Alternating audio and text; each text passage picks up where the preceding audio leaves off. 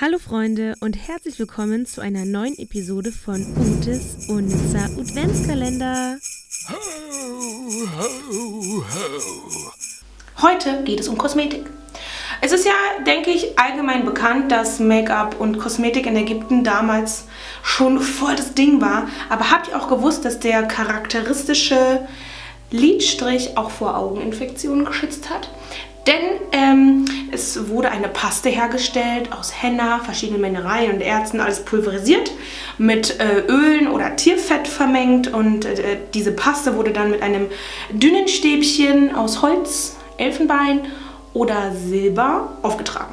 Unter anderem war in dieser Paste, nicht in dieser Paste, hier ist Aktivkohle drin, äh, war in der äh, Augenlidstrich-Paste äh, war Blei drin und das hat nicht zu schlimmen äh, Vergiftungen oder Hautschäden geführt, sondern das hat die Zellen dazu angeregt, äh, mehr Stickoxid zu produzieren, was dem Immunsystem geholfen hat, die Abwehrkräfte anzuregen und so eben verhindert werden konnte, dass man schlimme Augeninfektionen kriegt.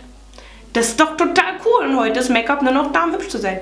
Na gut, es gibt sicherlich auch genug Kosmetik, die äh, auch medizinische Wirkung hat. Nun gut, ich hoffe, da war eine neue Information für euch dabei. Ich bin noch ein bisschen äh, nervös und aufgeregt, weil ich mich freue, dass es den Adventskalender wieder gibt. Und ich hoffe, ihr freut euch auch.